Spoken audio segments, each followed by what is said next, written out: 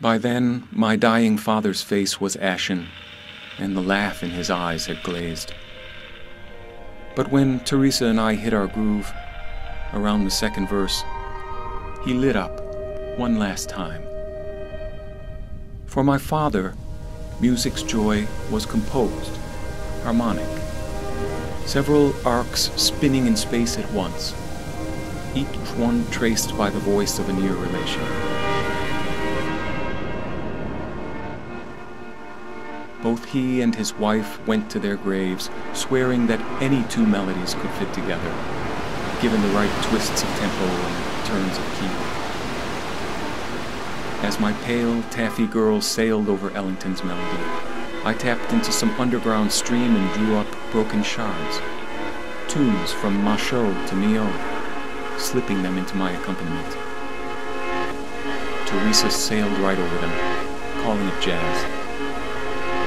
Who knows how many of the quotes Da made out? The tunes fit, inside each other. That's all that mattered.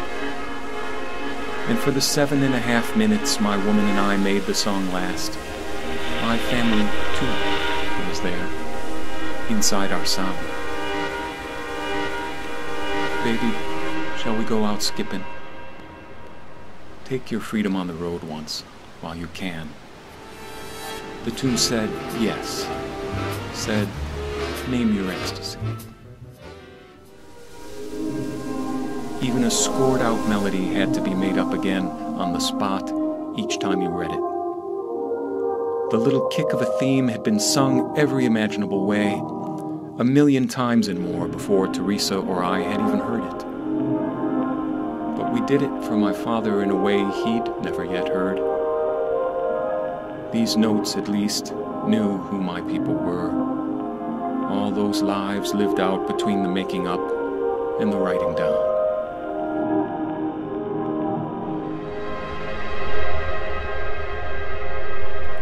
Sing where you are, even as it vanishes. Sing all the things that this life denied you. We are all native speakers. No one owns even one note. There was only this one off meeting between us and the pitches. Nothing trumps time.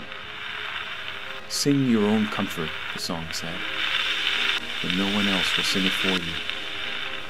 Speaks Latin that satin doll.